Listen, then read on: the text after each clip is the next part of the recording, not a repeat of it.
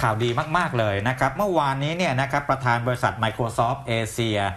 และคณะผู้บริหาร Microsoft ประเทศไทย ได้เข้าเยี่ยมคารวะพลเอกประยุทธ์จันทร์โอชานายกรัฐมนตรีนะครับ ที่ตึกไทยคู่ฟ้าทำเนียบรัฐบาลครับ หาลือกัน เรื่องการที่ Microsoft เนี่ยนะครับจะมาขยายการลงทุน และก็จะมาช่วยพัฒนาบุคลากรทางด้านดิจิทัลของประเทศไทยเรานะครับโอ้ค่ะเนี่ยเพราะฉะนั้นเนี่ยเป็นเครื่องยืนยันว่า